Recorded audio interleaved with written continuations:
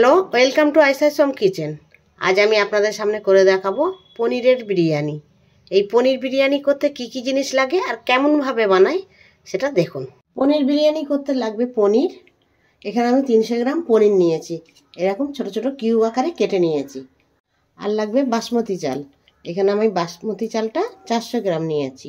আর লাগবে বিরিয়ানির মশলা। এটা আমি এভারেস্ট বিরিয়ানি মশলা নিয়েছি।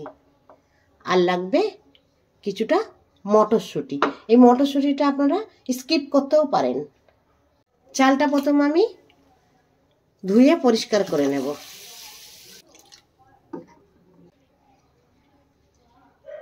তিন চারবার ধোয়ার পরে এবারে আমি একে দশ মিনিটের জন্য ভিজিয়ে রাখব জল দিয়ে। চালটা দশ মিনিট ভেজানো হয়ে গিয়েছে। এরপরে এরকম একটা চালনির সাহায্যে আমি এটা ছেঁকে নেব। জল না থাকে। এবারে পনিরগুলো আমি ভেজে নেব ঘিতে। প্রথমে লবণ, তারপরে লাল লঙ্কার গুঁড়ো, খুব সামান্য একটু হলুদ গুঁড়ো, হাফ চামচেরও কম, দিয়ে এবারে এটাকে হালকা হাতে মাখিয়ে নেব। পরে এরকম একটা পাত্রে হাফ চামচ লবণ, দুটো তেজপাতা, দুটো শুকনো লঙ্কা, তিনটে এলাচ দিয়ে দেব। আর এক চামচ তেলও দিয়ে দেবো। তেলটা দিলে কি হবে? ভাতগুলো ঝরঝরে থাকবে।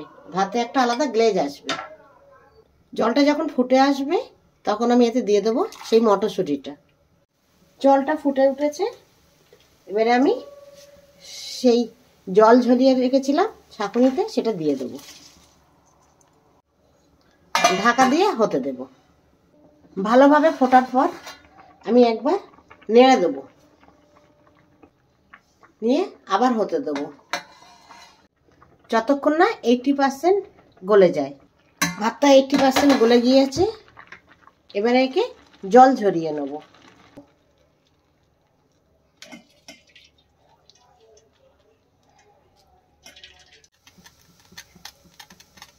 ভাতগুলো থেকে জল ঝরতে দিয়েছি। এরপর একটা ফ্রাই প্যান গরম করতে দিয়ে তাতে আমি দিয়ে দিচ্ছি দু চামচ ঘি। ঘিটা যখন ভালোভাবে গরম হয়ে যাবে, এবারে আমি ওতে পনিরগুলো দিয়ে ভেজে নেব। গ্যাসের ফ্লেমটা একেবারেই লো করে নিয়েছি।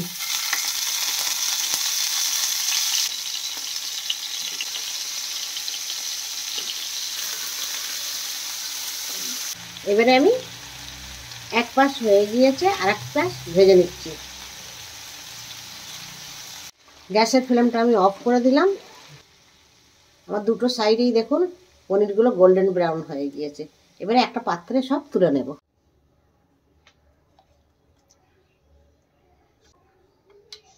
আমার পনিরগুলো তোলা হয়ে গিয়েছে। এবারে একটা গ্রেভি বানাবো। ওই কড়াতেই।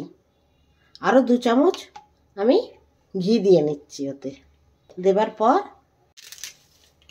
একটা গোটা পেঁয়াজ ওতে দিয়ে ভাজবো। পেঁয়াজটা আমার নরম হয়ে গিয়েছে, দেখুন, কালারটা হালকা চেঞ্জ হয়ে গেছে।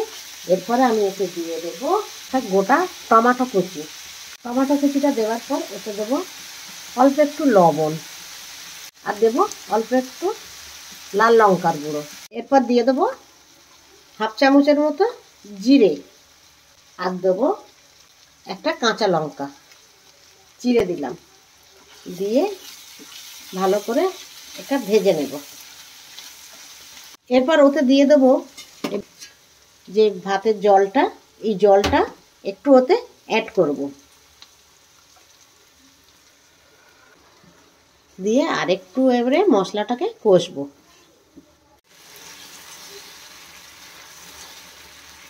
মশলাটা ভালোভাবে কষার পরে এবারে আমি এতে দিয়ে দেবো বিরিয়ানির মশলাটা। দিয়ে আরও খানিকক্ষণ একে কষবো। তারপরে দিয়ে দেবো এক চামচ আদা বাটা। আদা বাটা দেবার পর এর সাথে আদা বাটাটা মিশিয়ে দেব। চাপা দিয়ে মশলাটা হতে দেবো যতক্ষণ না মশলা থেকে তেল ছাড়ে। মশলাটা আমার হয়ে গিয়েছে, দেখুন, তেল ছেড়ে দিয়েছে আর পেঁয়াজগুলো গলে গিয়েছে ভালোভাবে। এই গ্রেভিটাই আমার দরকার। এরপর এতে আমি দু চামচ ঘি দিয়ে দিচ্ছি। আমার ভাতটাও হয়ে গিয়েছে, পনিরটাও ভাজা হয়ে গিয়েছে, আর গ্রেভিটাও তৈরি হয়ে গেছে। এবারে অন্য একটা মিশ্রণ তৈরি করতে হবে। দিয়ে দেবো এক কাপ দুধ। দুধে দিয়ে দেবো ফুড কালার। ফুড কালারটা সুন্দর হওয়ার জন্য। আর দিয়ে দেবো বিরিয়ানির অ্যাসেন্স তিন ফোঁটা। দিয়ে দেবো কেওড়া ওয়াটার। এটা দেব এক চামচ। দিয়ে এই মিশ্রণটা ভালোভাবে আমি বানিয়ে নেব। এরপরে বিরিয়ানির স্টেপটা আপনাদের দেখাচ্ছি। আমি এই রকম একটা পাত্রে বিরিয়ানিটা সাজিয়ে নেব। প্রথমে এতে আমি দিয়ে দেব সেই তৈরি করা গ্রেভিটা।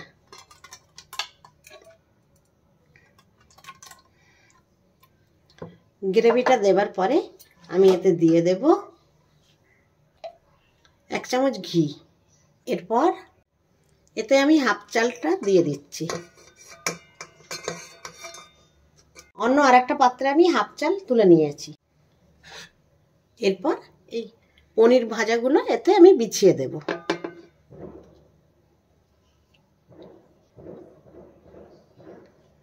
এরপর এতে দেবো অল্প একটু লবণ।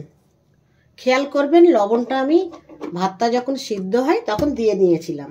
পরে আমি দিয়ে দেবো এতে বিরিয়ানির মশলা, হাফ চামচ। দিয়ে দেব আবার সেই গ্রেভিটা।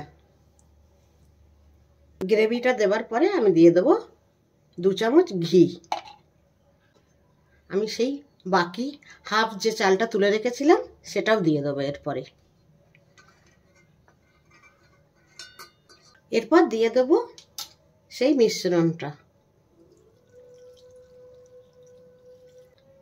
দেবার পর দশ মিনিটের জন্য আমি একে দমে দেব লো ফ্লেমে ফ্লেমটা আমি জ্বালিয়ে নিলাম, দিয়ে এবারে আমি একে কমিয়ে দিলাম।